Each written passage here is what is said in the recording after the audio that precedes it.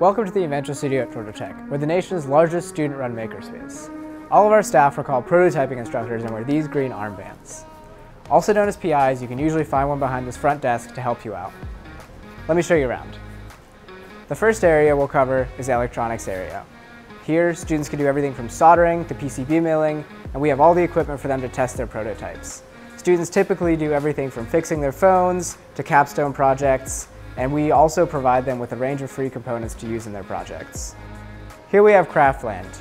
Here we offer people the ability to make stickers, you can do sewing projects, you can do embroidery projects, and we offer a variety of low-cost prototyping methods to help you get your ideas off the ground. This area is what we call the hub. This is where students bring together the things that they've made throughout the space and assemble them into their final products. Surrounding the hub, we have a variety of 3D printers. Our main printers is this fleet of 20 Ultimaker 2s. Over the last year alone, it's printed over 700 kilograms of filament and over 10,000 prints for students.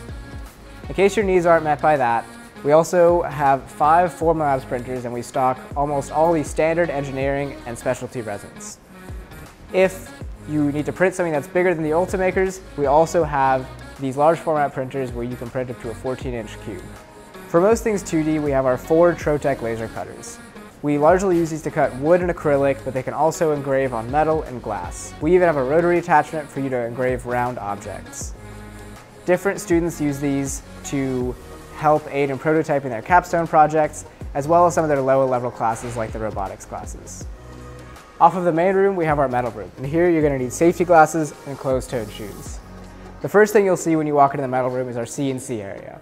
We have two different three-axis mills, the EMCO, which is very precise, has 20 different tool changers, as well as the Tormach mill, which has some other features like an auxiliary fourth axis.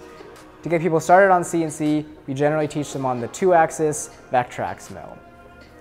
Over here, we have our general purpose metalworking tools, such as drill presses, variety of different band saws, as well as belt grinders and such. Along the back wall is where we keep all of our hand and power tools. The power tools are sponsored by Milwaukee and they've been wonderful to work with. The other equipment group you'll find in the metal room is our water jets.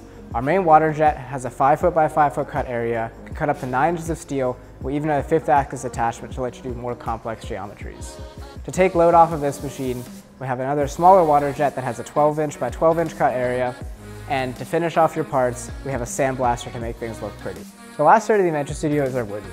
Here you'd find everything you would in a professional wood shop to take a rough piece of lumber to a finished product. The first tools you'd use for that is our joiner and planer.